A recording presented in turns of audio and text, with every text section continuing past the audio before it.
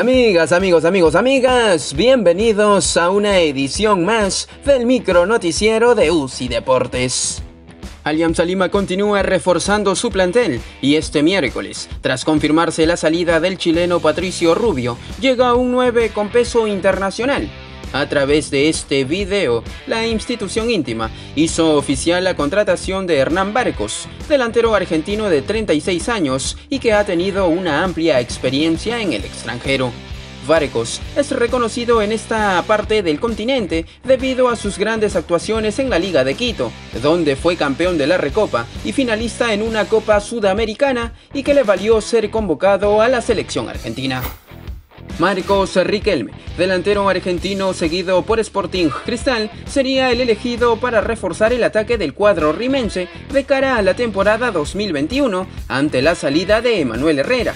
Tras aceptar un acercamiento con el club, todo parece indicar que finalmente llegará a la Florida. Más ahora que se mandó con un mensaje en redes. Mañana será un gran día, escribió el exjugador de Bolívar este miércoles en Instagram. Luego de haber recibido la aprobación del gobierno peruano para el retorno de los entrenamientos, el técnico de la selección peruana Ricardo Gareca decidió convocar a 11 futbolistas del campeonato local. Ellos empezarán este lunes 22 con el microciclo de cara a los partidos que la Blanquirroja sostendrá frente a Bolivia y Venezuela este 25 y 30 de marzo respectivamente por las eliminatorias a rumbo a Qatar 2022.